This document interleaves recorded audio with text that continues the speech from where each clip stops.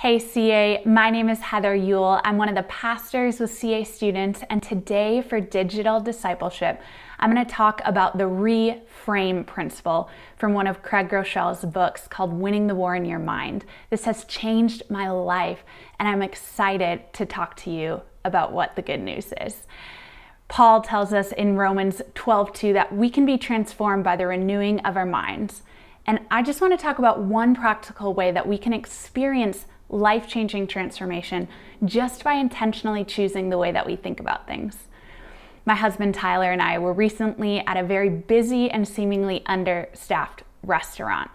Throughout our time, we had this waitress who patiently helped us through the menu, even though she had lots of other tables to wait on. She brought us out a pitcher of water because she knew that the staff wouldn't be able to fill our water glasses as frequently.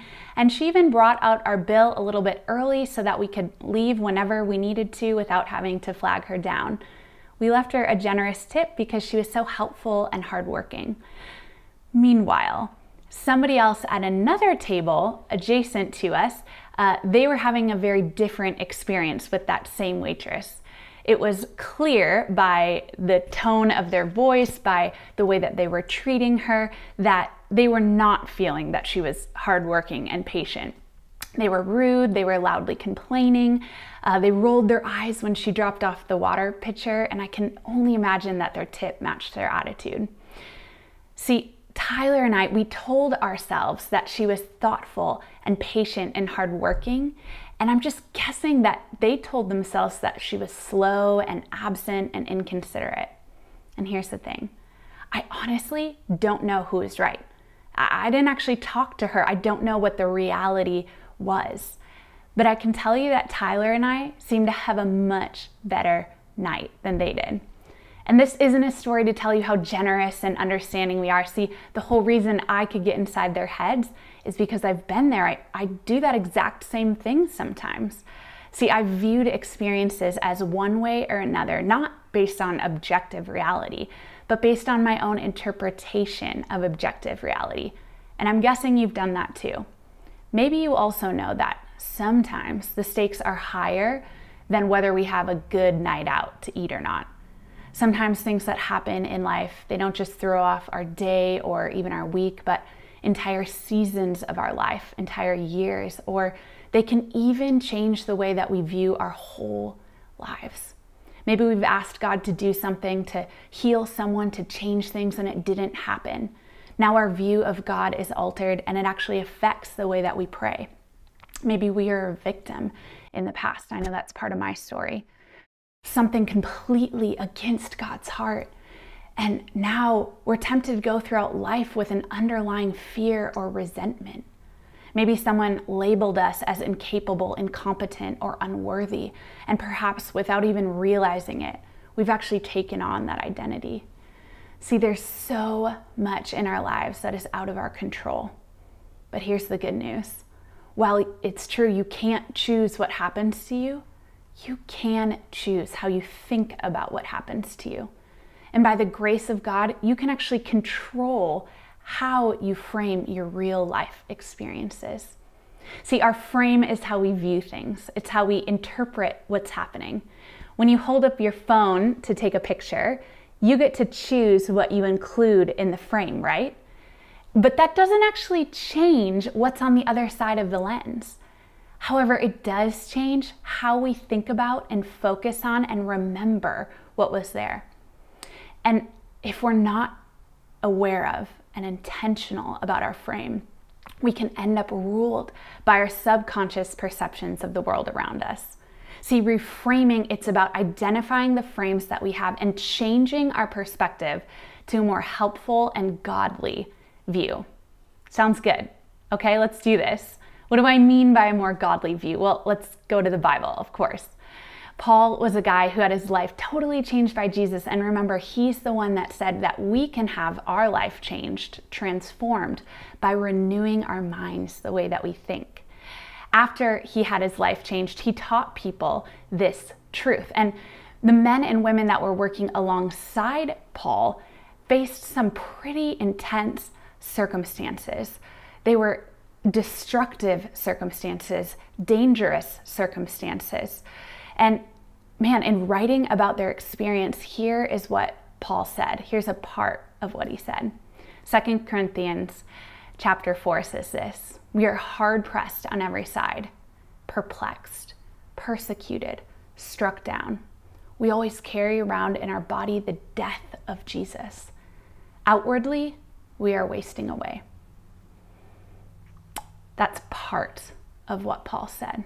That was a reality, but it wasn't the whole reality based on Paul's framing.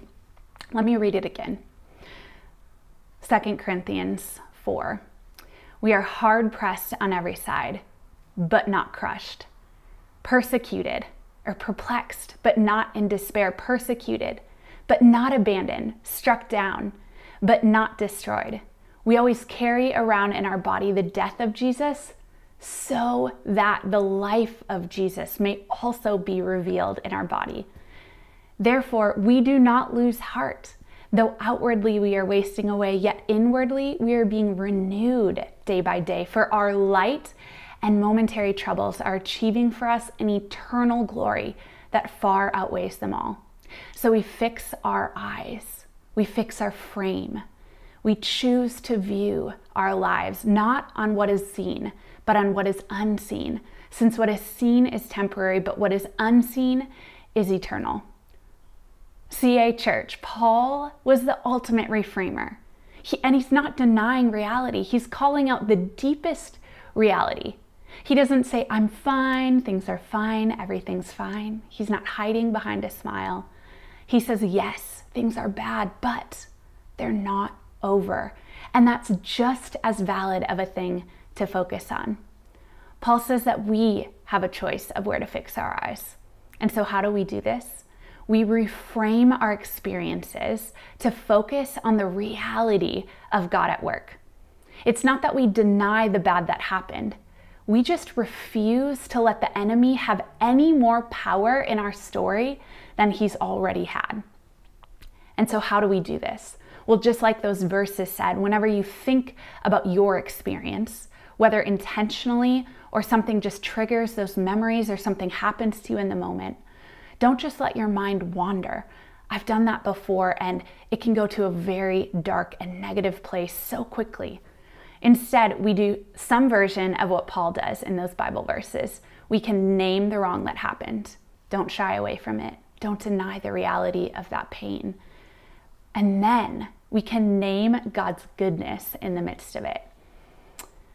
When I first started doing this, it honestly felt strange and unnatural. But as I kept practicing, as I kept intentionally choosing to reframe my experiences by searching for God's goodness in the midst of it, it became easier. And now it's become more natural to me. Not necessarily always my first thought, but it doesn't feel so strange anymore. So, CA, where do you need to take background?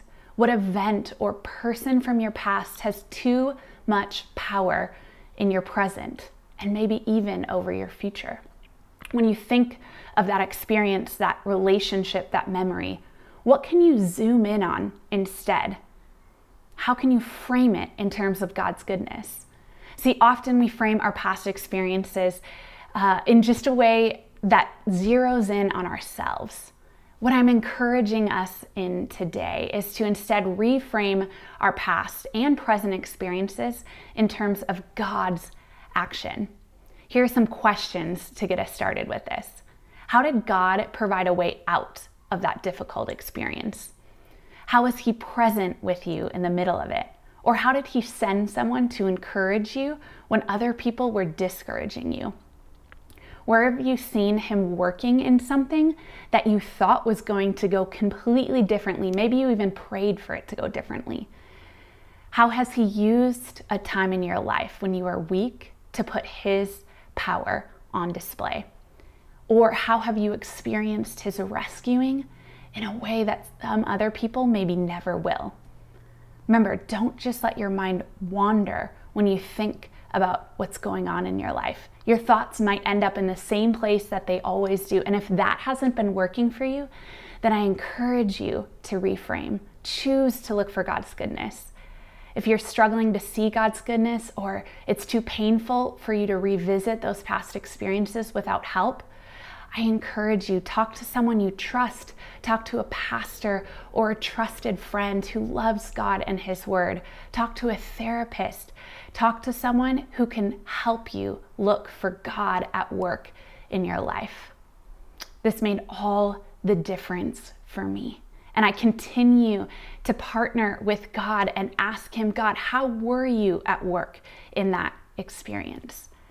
Remember, this isn't just the power of positive thinking, it's life changing because it's the power of positive, godly thinking. CA, let's frame our experiences based on God's goodness in our lives. And I know if you're anything like me, you're going to need God's help with that. So, would you pray with me as we ask God to be with us? Lord, thank you for giving us the power to reframe our real life experiences based on your goodness in our lives. Lord, thank you that you've been with us every step of the way in our lowest lows and our highest highs, in the mundane and middle. God, I pray that you would give us, like Paul, a perspective that doesn't only acknowledge the bad, but also calls out the good. And not just any good, but the one who defines good, the God who is good. Lord, thank you that we don't have to do this alone. Lord, I pray that you would be with us through your Holy Spirit as we embark in this reframing journey. It's in your powerful name we pray, Jesus. Amen.